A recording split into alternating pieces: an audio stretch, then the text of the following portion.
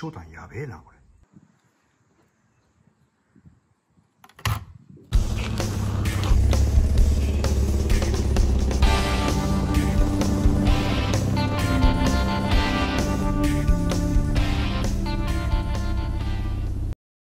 えー、田植え後2日目ですね。今日が2日目です。もう順調に水の方もね、あのー、干上がることなく保ててるんで、このまま、まあ、何事もなければ、順調に稲は育ってくれると思います。色、今色がこの、ちょっともうちょっと緑やけど、1週間から2週間ぐらいするとね、もう青青くなって、しっかりとこう根を張ってくるんで、えーそれまではね、ちょっと気が抜けないんですけど、えー、この田んぼね、あのー、理学の里で、えー、管理して、体験という形で、今回あの皆さん、え人を募ってね、田植えの体験を、イベントをさせていただきましたけど、まあ、ここに至るまでね、あのいろんな方が、田んぼを下準備中にしていただいています。まあ、もちろん川津先輩もそうだし、えここ白かきしてくれた、え地元の大先輩。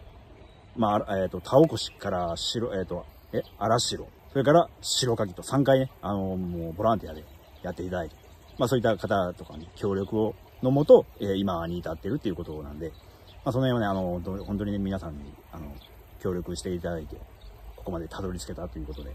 あとまあ、日本分離、えっ、ー、と、田植えの時にね、来ていただいた、えー、分離大学の学生さんたち、まあ先生たち、えー、本当にありがとうございました。えー、まあ、彼たち、あの、まあ、地域の経済とか、まあ、農業とか、まあ、あの、まあ、いろいろなことを学ぶために、今回あの参加していただいたんですけども、えー、何か得るものがあった思い、思ってね、参加していただいてね、本当助かりました。あの、いい経験になったんじゃないかなと思います。まあ、これからもね、この田んぼ、えー、いろんな方、まあ、理学の里のメンバーだったり、まあ、僕だったり先輩だったり、まあ、地域の人、いろんな方のね、協力を得ながら、また、ね、あの、協力し合いながら、この稲、育てていきたいと思います。はい、えー、こちらがレジです。いつもたくさんのご視聴、本当にありがとうございます。はい、えー、今日はね、ちょっとね、初めての、俺のチャンネルではちょっと初めてかもしれん、調理、クジラ、クジラキッチンを ちょっと、お届け、えー、しようかなと思っております。まあ、キッチンっていうかね、まあ男の料理っていう感じで、あの、まあ、実はね、あのー友達が、まあ、淡路島におるんやけど、まあ、そいつはね、玉ねぎを作ってるんですよ。大きくね。で、あの、まあ、玉ねぎできたけん、送っちゃるわ、つって送っていただきました。はい。萩本ハファンっていうとこ。まあ、あの、概要欄に、あの、いろいろリンク貼っておきますんで、まあ、ぜひ、ぜひね、気になる方はチェックしてみてください。あ案件じゃないけんな。開封します。こちらね。淡路島の特産品の玉ねぎ農家、萩本ファームについて。えー、淡路島から日本の食卓を豊かにということで、コンセプトがね、えー、合言葉に、地域団体が定めるガイドラインに沿って、淡路島ブランドを代表する淡路島玉ねぎの生産販売を行っているっていう。美味しい玉ねぎを育てたいという気持ちから、えー、年間出荷量を150トンと定め、一玉一玉を私たちの愛情を注ぎ、手間を、手間と時間をかけて育てています。ということで。えー、っとね、まあ、淡路島の玉ねぎってね、あの、まあ、まあまあ、まあ、有名ですよね。美味しいって言ってね。で、僕、ちょっと食ったことねえんかもしれんけどね、まあ、あんま、えー、っとね、ちょっといろいろこう、パンフレットあの書いてます。淡路島の玉ねぎの特徴について。えー、淡路島の玉ねぎは何と言っても甘さです。答え差はありますが、外国産玉ねぎや国産一般的な玉ねぎの糖度が、えー、約3度から5度に対して、淡路島の、淡路島の玉ねぎは、6度から9度、約2倍の糖度があるという。甘いっていうことだよね。実際、えっ、ー、と、送られてきた玉ねぎっていうのが、でかいよ、とにかく。こんな感じでね、箱に入って送られてきました。これで10キロかな ?10 キロ入りの玉ねぎです。まあ、まあ、大きさはね、あの、バラバラやけど、手のひら比べたらこれぐらいですね。まあ、んで、えー、今日はこの玉ねぎを実際跳ねえのかどうか試してみたいと思います。で、実は、まあ、俺とこね、あのー、まあ、家で家庭菜園だけど、えー、玉ねぎ作ってます。これはあの無農薬で作ってる玉ねぎ。今年はね、ちょっと、なんか出来が悪かったらしいよね。あの、なんか玉ねぎの苗も、オスとメスがあって、それの関係でね、なんか、ちょっと出来が悪かったって言ってました。大きさ、こんくらい？もう全然違うんやけど。まあ、まあ、大きさ、大きさはね、いろいろ、あの、まあ、肥料とか、あの、環境とか、気温とか、土とかで変わってくると思うんやけど、これ、これがプロが作った玉ねぎ。で、これが、まあ、素人が家庭菜園で作った玉ねぎっていうことね。あの、これを実際に食べてみて、どうなのか。実際本当に2倍ぐらい甘いのかどうかっていうのを、あの、まあ、届けとかで測ってみるわけじゃないんやけど、実際にね、食べてみてね、えー、味比べしてみたいと思います。こういうのを食べ、食べるとき、まあ、あまりこう、手をね、加えずに、生で、まあ食べるか、まあ、まあ焼いて食べるか、まあどっちかでやるんやけど、スライスして、醤油つけて食べたら美味しいよって純子さんが言おったんで、とりあえず、あの、2種類ね、スライスして、スライスしてみます。スライスってなんか知らんけど。まずは、普通の玉ねぎな。普通の玉ねぎを、皮むかないかなやろ皮むくってこれどうやってむくんやろ汚れたところは取った方がいいわな。これな。これ取って、こんなもんでいいかな。で、この、この辺とか切らんといかんのな。まな板。包丁。アクセ。玉ねぎに匂いする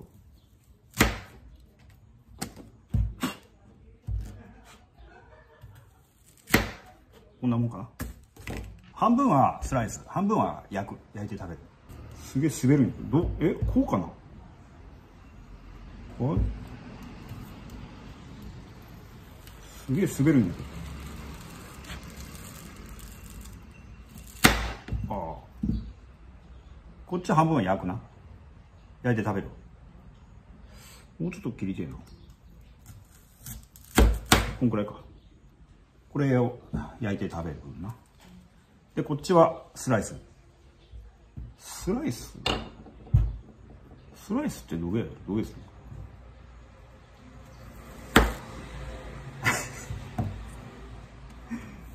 ライスって何？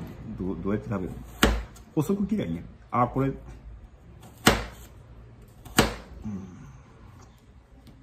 スライスっていうよりもこれなんか、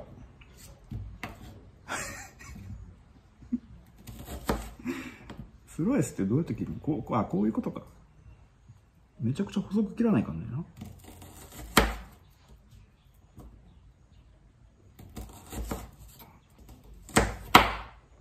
スライス。スライス これは、えっ、ー、と、自家菜園の、えー、素人が作った無農薬の玉ねぎ。ちょっとこれ、これ食べてみよう。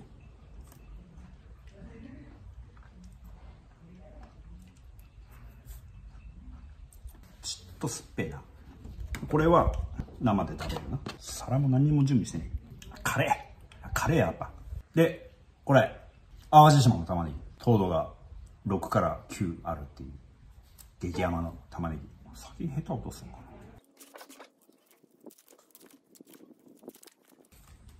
なよしこんなもんね、うん、これは焼焼いて食べるあんまりこう目にしみるこれ焼いて食べるでこれはちょっとスライスしてみようかスライスって何や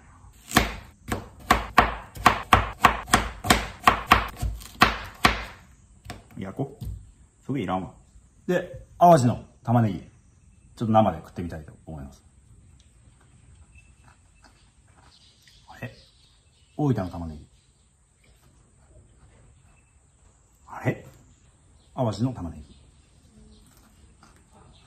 ああ、全然違う。大分の玉ねぎは、あの、ピリピリピリピリ、ちょっとカレーやけど、淡路の玉ねぎは、やっぱ甘い、甘いよ。その刺激刺激があんまりない。まあ、カレーのはカレーやから。焼き作った方がいいわ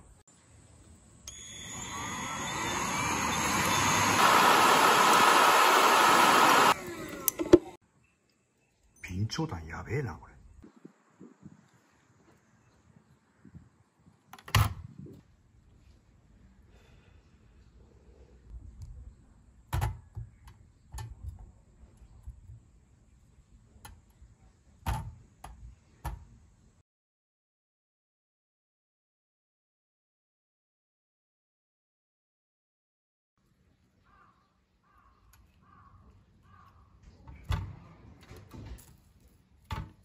はい。焼けました。まず、えっ、と、どっちから食べようか。ちょっともう焦げたけど。えっ、と、大分県産。大分県産の無農薬の自家栽培。まあ、素人が作った玉ねぎな。を食べてみたいと思います。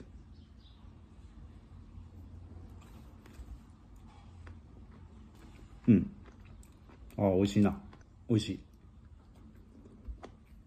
で、次。淡路島の糖度がこっちより2倍あるっていう玉ねぎな。俺の友達が作ったやつ。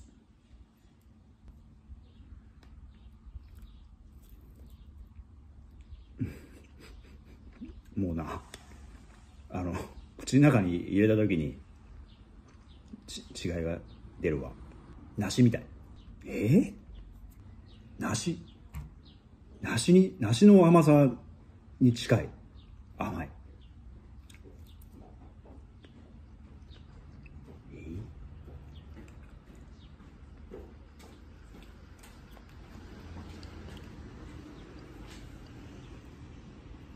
食ってん。食ってみな。え？食ってみな。玉ねぎな。玉ねぎ。これ大分県産のか、俺か母ちゃんが作ったやつ。母ちゃんさんな、ん。母ちゃんさんな、うん。あ違う。違う。違う。違うすげえわこら美味しいね。うんまあまあまあそれは美味しいわ。無農薬やけどな俺は。去年バーベキューした時の母ちゃんさんああそうやな。美味しかったよな。淡路に玉ねぎ。淡路？うん。もうそのままいきなバトル。あっちは？いい。あっちゃう。あ。甘いやろ全然違う。梨梨のなんか甘さに似てね、梨食いよみたいな。これは甘いわ。甘いよな。いやでも母ちゃんさんは悪くねえよ。まあこれはだからあの普通の田舎の、そうそうそう。あのー、母ちゃんばあちゃんが作るうん美味しい玉ねぎまあまあまああそうやな。もうこ田田舎の玉ねぎだわ。こっち淡路さんはもう完成されちゃう。甘えな。フルーツやフあフルーツにしけいななあ。うん。こっちあの大分県の母ちゃんの玉ねぎは。うん。野菜。野菜の味がす美るな。味しい野菜。う、うん。んなんか天然の感じっちゅう感じやな。まあでも俺こっちの方が好き。カットしといて。あとねいや要は俺らが日頃口にしとる玉ねぎだそうそうそうそう。これがな。そうそう。もうこっちは玉ねぎっていうこう枠がちょっと出た感じやな。フルフルーツーツような。梨？梨かっちゅうぐらい甘いよこれすげえ甘いえよ生生。生ななこれ生？こっちが？これ淡路の玉ねぎ。こっちは淡路、うん。